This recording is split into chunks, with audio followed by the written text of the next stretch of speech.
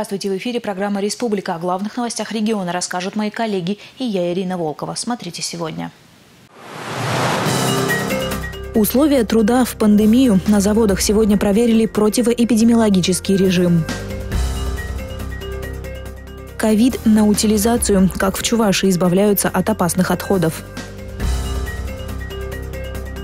Соревнования на удаленке. Чувашское региональное отделение Федерации гиревого спорта объявило о старте интерактивных состязаний. 22 апреля по данным сайта stopcoronavirus.rf в Чувашии подтвердились анализы еще 27 человек. Всего в республике 262 случая заражения COVID-19. 14 человек выздоровели, 5 летальных исходов. При этом за границей России еще остаются наши земляки. Сегодня семерых жителей Чувашии удалось вернуть в страну из Индии и Турции. Два спецрейса по уже отработанной схеме приняли в Казани. Всех пассажиров поместили на двухнедельный карантин в санаторий Василевский. Это стало возможно возможным благодаря личным договоренностям в Рио главы Республики Олега Николаева зампредседателя правительства России Татьяной Голиковой и президентом Татарстана Рустамом Минихановым. На 22 апреля за границей все еще остаются 211 жителей Чувашии, в том числе 22 ребенка. Температура 37,5, кашель, одышка и потеря обоняния. Симптомы COVID-19 сходны со многими респираторными заболеваниями. О профилактике и мерах защиты говорили сегодня в Минздраве Чувашии. Несмотря на некоторую схожесть симптомов, ОРВИ и COVID-19 генетически разные. Вирус гриппа развивается быстро и заявляет о себе через 2-3 дня после заражения, а коронавирусу требуется до 14 дней. А, что может быть подозрительным? Первое – это повышение температуры 37,5 градусов и выше.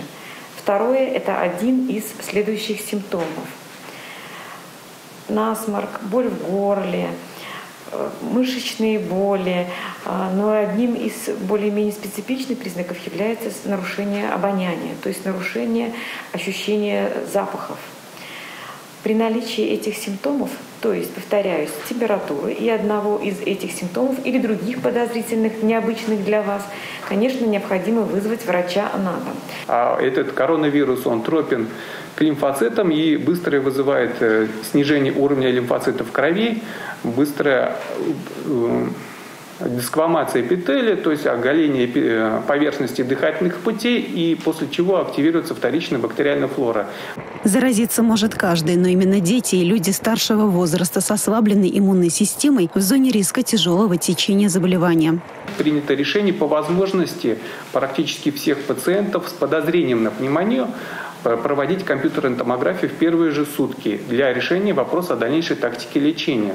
Голыми руками вирус не возьмешь. В арсенале медиков целый комплекс препаратов. В обычной аптеке их не найти. Прием строго под контролем врача. При этом вирусную пневмонию, основное и самое опасное осложнение коронавирусной инфекции, нельзя лечить антибиотиками. В случае развития пневмонии акцент делают на поддержание функции легких.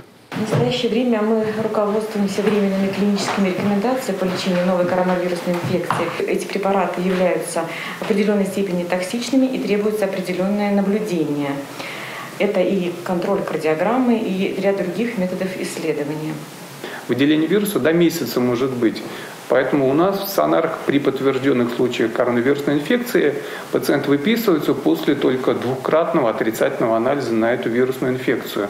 Людям с хроническими заболеваниями пожилым врачи настоятельно рекомендуют сейчас соблюдать режим самоизоляции и ни в коем случае не прерывать обычную лекарственную терапию. Нужные препараты врач может выписать на дому. С плановыми посещениями в поликлинику придется повременить. Доставить лекарства, продукты питания и другие необходимые вещи могут могут помочь волонтеры и соцработники. Наталья Мальчикова, Юрий Марков, Республика. Неправильно утилизированные защитные маски и перчатки несут в себе двойную угрозу, уверены специалисты. Что происходит с отходами, которые были в непосредственном контакте с зараженными COVID-19? Ответы на волнующие вопросы в нашем следующем сюжете. Ежедневно специальный автомобиль компании «Экология» выходит в рейс по городу. В маршруте – больницы и медучреждения, которые в процессе своей работы производят медицинские отходы. Из-за распространения COVID-19 к обычным медотходам в больницах добавились чрезвычайно эпидемиологически опасные медицинские отходы – маски, перчатки, респираторы, шприцы, одноразовая посуда. Все то, чем пользуются врачи и больные, находящиеся на лечении. Чрезвычайно эпидемиологически опасные медицинские отходы перед отправкой на утилизацию обязательно дезинфицируются. Упаковываются они строго в красные пакеты с обязательной маркировкой «Класс В».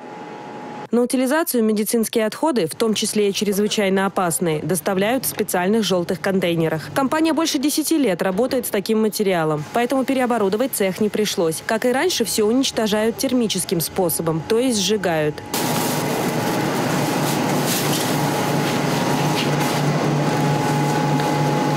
Продукты горения проходят многоступенчатую очистку, поэтому полученный на выходе дым полностью безопасен для окружающей среды. Выработанное в процессе тепло также находит применение. Все техпроцессы производства и отопление всего корпуса осуществляется за счет теплосъема именно той энергии, которая образовалась в результате горения отходов. Если в медицинских учреждениях утилизация подобных отходов налажена, то как быть обычным людям? Ответ прост. Маски и перчатки, которые они используют для защиты в повседневной жизни, достаточно герметично упаковать в пакеты и выбросить в мусорное ведро. Из-за отсутствия кислорода вирус скоро погибнет. Сегодня на предприятии свозятся медицинские отходы со всей республики. Утилизация проходит с соблюдением всех мер безопасности.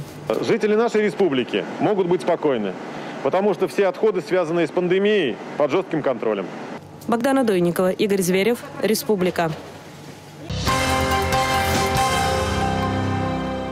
Бесперебойную работу промышленности поможет сохранить только противоэпидемиологический режим. Как на предприятиях Чувашии соблюдают санитарные требования, сегодня проверил временно исполняющий обязанности главы республики.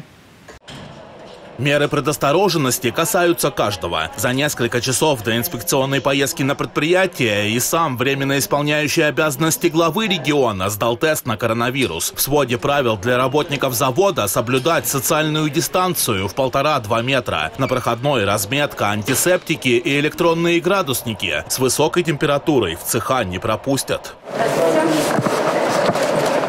мы проверяем, и, естественно, вот э, разметка, все это есть. То есть а, люди выдерживают да, при прохождении, да? И не проверили, только... прошел, другой да. прошел, да? Не только на входе, но и на выходе. Стараемся соблюдать требования по дистанции.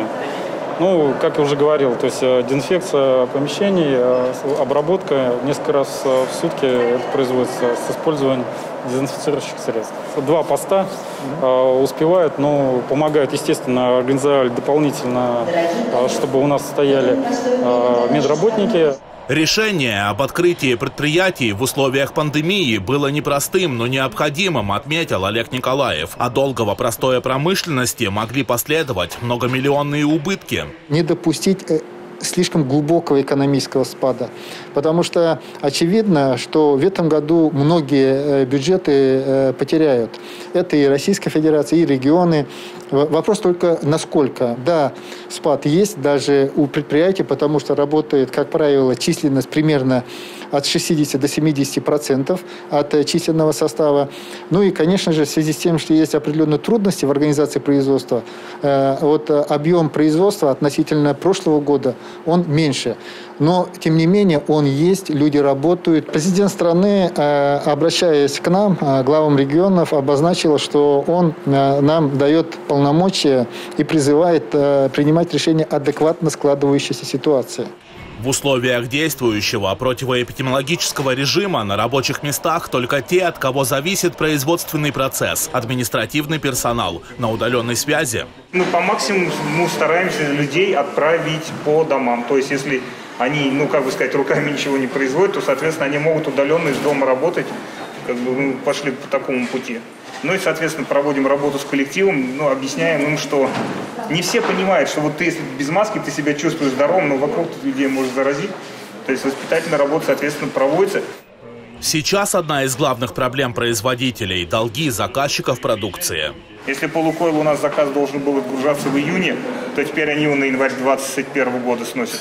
То есть вот как бы то есть такие факты тоже имеют место быть? Да, да, да, имеет место быть. Но хоть хорошо, что вот мы письмо писали с НИРом, договорились, контракт подписали по э, производству ячеек. То есть это вот где-то миллиардный контракт. Проблемные вопросы в Рио главы региона взял на контроль. С министром промышленности страны Олег Николаев намерен обсудить просьбу руководителя предприятия «Яхтинг». Здесь налаживают выпуск медицинских масок, но сейчас производители испытывают дефицит материала. Проблема Республики по закроется полностью. Вопрос сырья будет стоять. Насколько э, Казань, э, Татария нам э, будет а... выдавать сырье. 4 э, тонны трех видов, это 12 тонн. Будем поддерживать, когда создаются новые производства. По всем этим направлениям будем работать однозначно. Мы... Пандемия не отменяет наград лучшим работникам. Руководителям электроаппаратного завода Олег Николаев передал знаки отличия для двух инженеров за трудовые успехи. Торжественную церемонию пообещали организовать, когда эпидемиологическая обстановка позволит. Дмитрий Ковалев и Павел Редков, Республика. Ущерб экономике причиняет не только коронавирусная пандемия. В торговых точках Чувашии продолжают расплачиваться фальшивыми деньгами. Выявляют их в основном не на кассе, а уже в банке. Специалисты отмечают, что поддельную купюру вполне может распознать каждый. Нужно лишь быть внимательным и знать основные способы ее защиты. Об этом сюжет наших коллег из пресс-службы МВД Чувашии. А, первым делом проверяют микроперфорацию и водяные знаки на просвет. Они их замечают и спокойно берут. На эти признаки не стоит обращать внимание, так как они э, очень хорошо подделываются. Взять в руки купюру и осмотреть водяные знаки бывает недостаточно, отмечает в экспертно-криминалистическом центре МВД по Чувашии. Именно к ним попадают фальшивки на экспертизу, после того, как их обнаружат сотрудники магазинов и банков. Поддельные денежные средства сейчас могут быть очень высокого качества, поэтому в руки лучше взять увеличительное стекло и обратить внимание на детали. Ну, основными признаками подделки, которые можно легко различить невооруженным глазом, если немного присмотреться, или при помощи даже небольшой лупы, это является микротексты. Микротексты находятся в облаке, с лицевой стороны и э, на оборотной стороне. На фальшивых денежных купюрах он э, визуальным глазом заметен, но если приглядеться, то он уже при приближении в другую сторону будет очень нечеткий. С начала года в республике было сбыто порядка 80 поддельных купюр. Чаще всего в руки продавцов попадают фальшивые пятитысячные. Злоумышленники заглядывают в заправочные станции, продуктовые магазины и рынки. Сбывают чаще всего менее ответственным гражданам, которые принимают минимум мер для проверки наличности. Основную массу они, конечно, пытаются сбыть э, там, где больше всего поток людей, где э, продавец меньше обращает внимание на купюру и э, прибегает к аппаратам, определяющим фальшивые денежные знаки. Они тоже своего рода психологи. Кроме проведения оперативно-розыскных мероприятий, сотрудники экономической безопасности заглядывают и к самим продавцам. Напоминают меры безопасности, вручают памятки, просят быть внимательными при обращении с денежными знаками и незамедлительно обращаться в полицию при обнаружении купюры с признаками подделки. Это тяжкое преступление в первую очередь задумайтесь о том, если у вас появилась как раз купюра э, фальшивая, не стоит выбрасывать, потому что если вы выбросите, может поднять эту купюру менее, так, э, как сказать, ответственный гражданин, который уже попытается ее сбыть. МВД Почувашской республики напоминает, сбыт даже одной поддельной купюры грозит лишением свободы на срок до 8 лет. Развитие инвестиционного проекта «Сычуань-Чуваши» обсудили в Доме правительства республики. В режиме видеоконференц-связи с китайскими инвесторами обозначили проблемные вопросы. Китайский инвестор Сычуань Чуваши агропромышленная торговая компания планирует построить в республике агропарк, в который войдут животноводческий комплекс производства по переработке молока и говядины. Цена вопроса 10 миллиардов рублей. Их компания планирует вложить в проект, который уже включен в 70 значимых программ российско-китайского сотрудничества. Понятно, что он реализовывается в, э, развитии э, договоренностей наших лидеров Владимира Владимировича Путина и Си Цзиньпиня. Понятно, что уже много сделано в рамках реализации этого проекта, но при этом остается достаточно много вопросов, по которым надо э, нам провести соответствующие консультации и найти некие понимания о взаимных э, вариантах взаимодействия. Самый проблемный вопрос – место под строительство комплекса до сих пор не найдено. В каждом районе, где китайцам пытаются выделить земельный участок, местное население протестует. Сначала скандал разгорелся в Маргаушском районе, а затем протесты жителей распространились на Чебоксарский район, Чебоксары, Цивильский и Шумерлинский район. Олег Николаев считает, что такая ситуация сложилась из-за отсутствия координации между прежним составом правительства Чувашии и инвесторами. Будем обсуждать, искать варианты. Ну, вот как э, коллеги из Китая сегодня говорили, если что-то нам не удастся договориться, возможно, они готовы даже свернуть данный проект.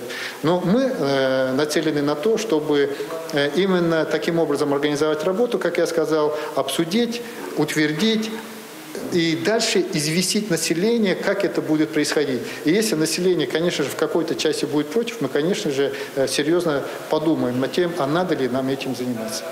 На первом этапе инвесторам предоставлено в аренду 5 тысяч гектар сельхозземель в Порецком районе под разведение 4 тысяч голов молочных и 2 тысяч голов мясных пород коров. Есть варианты расширения за счет земель Шумерлинского района. Согласно утвержденным пунктам соглашения, уже должны были возводить животноводческий комплекс на территории Порецкого района. В любом случае, осталось еще много вопросов для обсуждения. В Рио главу Чувашии предложил китайской стране после того, как завершится пандемия, перейти в очный формат общения. Юлия Важенина, Татьяна Раевская, Валерий Резюков, республика. Газоснабжение в Красноармейском, водоснабжение в Аликовском районах, а еще детские и спортивные площадки и зоны отдыха на селе. Все это в планах на 2020 год. Финансирование программы комплексного развития сельских территорий увеличит. Сегодня на заседании Кабинета министров одобрили соответствующий законопроект. По уточненному бюджету на развитие сел Чувашии в этом году планируют направить более 946 миллионов рублей. Также поправки внесут и в правила выдачи стимулирующих пособий для аграриев. Они коснутся закупки сельскохозяйственной техники.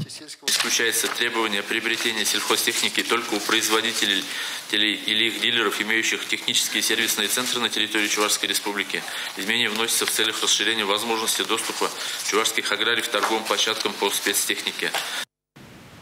Сразу две библиотеки в Мариинско-Посадском районе преобразились благодаря участию в республиканской программе капитального ремонта объектов культурного назначения.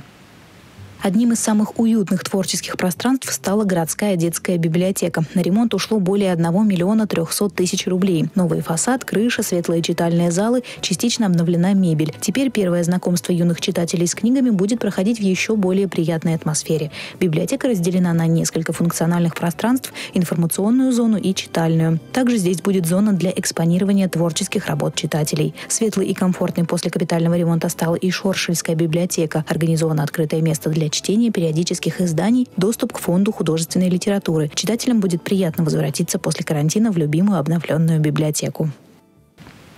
Юбилейный парад Победы перенесен. Памятные мероприятия пройдут в интернете. В ответ на призыв в Рио главы республики Олега Николаева сотни жителей Чувашии вписывают своих героев в электронный бессмертный полк.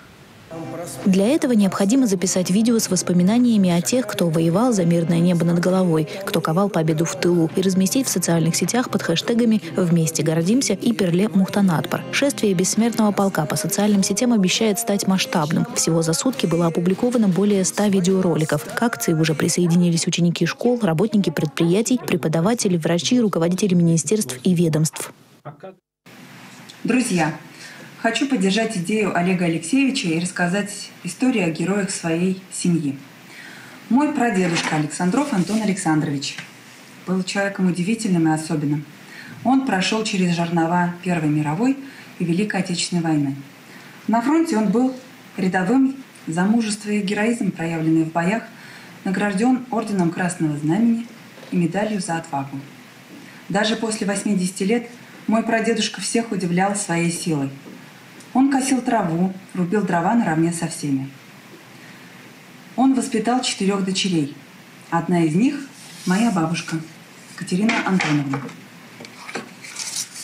Моя бабушка – труженик тыла и относится к числу детей войны. Она вышла замуж за моего деда, Елизарова Николая Елизаровича. Мой дедушка тоже был призван на фронт в 1944 году. Он был водителем автоцистерны при аэродромах. Дошел до Польши в 1945 году, награжден медалью за отвагу.